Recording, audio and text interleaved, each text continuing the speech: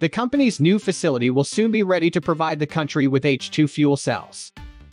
New York State's capital region is about to become a supplier of fuel cells for hydrogen fuel vehicles headed across the rest of the country, said a recent statement from Plug Power.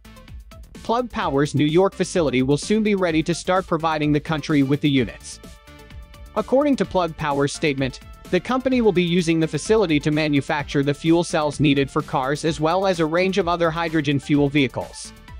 Plug Power is the first real commercial market in the world, here in the capital region for hydrogen fuel cells putting fuel cells in the forklift trucks said the company's CEO Andy Marsh. The forklift trucks mentioned by the CEO are powered by H2. That said the technology has potential for a vast spectrum of different types of cars and machinery, including buses, trains, massive mining vehicles, and even race cars that have already been on the tracks in France. Hydrogen fuel vehicles have been few and far between in the US market until now. The only state where H2-powered cars are running in any capacity at all is in California. That said, other states have been testing buses, transport trucks, and other hydrogen fuel vehicles to learn more about their potential in other arenas. Indeed, when it comes to the passenger car market, battery electrics have been taking off. But this doesn't mean that there isn't room for other zero-emission options.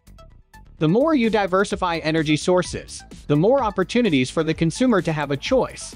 Then you're gonna always see a downstream effect on costs, said New York Lieutenant Governor Antonio Delgado who is pushing for more clean energy options in his state.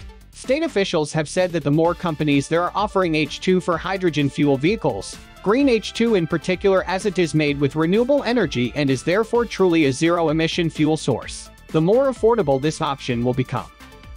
I think here in New York, you will see vehicles on the road in the next three to five years, if not sooner, said Marsh. He went on to add that the capital region is well suited for plug power to thrive due to the colleges within easy reach. So you have this good feeder level of engineers that come in, said Marsh.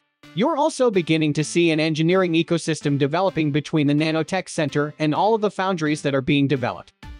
And you start thinking, this is a good place to be for that. That's it for now. Make sure to hit subscribe and grab our free H2 ebook. Also, make sure to comment and let us know what you think about the news today.